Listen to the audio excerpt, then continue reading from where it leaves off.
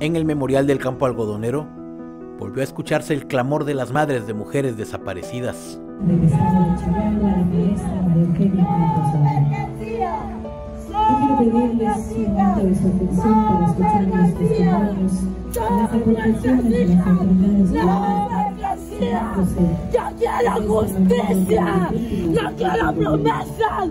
¡No quiero que Enrique sorda muda! ¡Yo quiero ver justicia! ¡El rico puede ver! ¡El rico puede oír! ¡El rico puede hablar!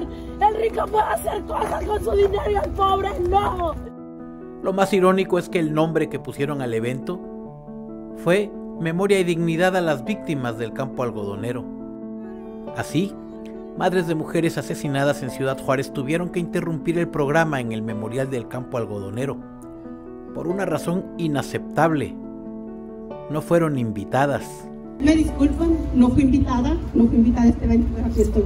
Soy la voz de María Sagrario González Flores, la voz de las niñas que han sido asesinadas, igual que María Sagrario. Yo no sé qué celebran aquí, porque no se ha cumplido nada, nada de lo que se sentenció la Comisión Interamericana de Derechos Me destrozaron mi corazón cuando se, me la mataron, que la encontraron ayer en, en, en Pemex, allá atrás de Pemex, allá me la mataron y me la tiraron allá mi hija.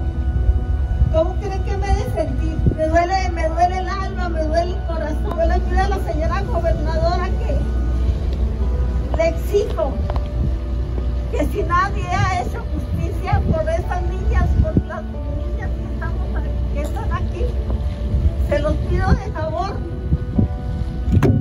de que se encuentren, de que se encuentren los asesinos, porque andan sueltos, sabrán los cuántas habrán matado y uno ni cuenta. Yo soy madre de María Elena Chávez Caldera, una jovencita de 15 años que fue desaparecida y posteriormente fue asesinada, ¿verdad? Yo también este, estoy aquí para aclamar justicia, ¿sí?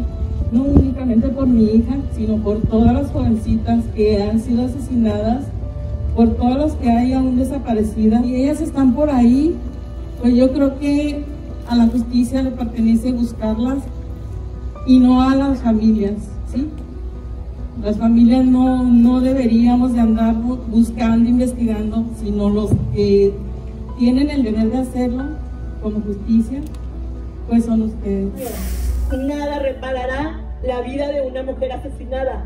Nos las quitaron, nos las mataron, las torturaron y las fueron y las tiraron en el desierto.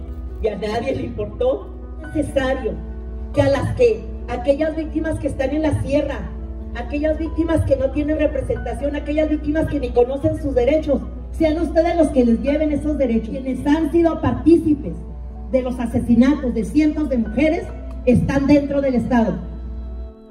A los reclamos de las madres siguieron los discursos, las promesas y también las disculpas. El día de hoy vengo a decirles, primero, vengo a pedirles una disculpa a los familiares, a las madres de familia, una disculpa por esta desatención en dos meses de gobierno. Esta desatención que hemos tenido, la acepto. ¿Saben qué? Tienen a una gobernadora y tienen a un gobierno del Estado que no los va a dejar solo, que sé que están cansados de cargar este sufrimiento, de cargar ese dolor y todavía levantarse todas las mañanas para trabajar y sacar adelante una familia y ver que las cosas no cambian. Tengan la seguridad que las comprendo y las comprendo por ser gobernadora, pero las comprendo sobre todo posición de mujer. La gobernadora María Eugenia Campos Galván ofreció crear un grupo interinstitucional que se reunirá cada dos meses en esta frontera con las familias de las víctimas para dar cumplimiento a lo que dicta la sentencia del campo algodonero. Una sentencia que la Comisión Interamericana de Derechos Humanos emitió desde hace 12 años y que a la fecha ningún gobierno ha terminado de atender.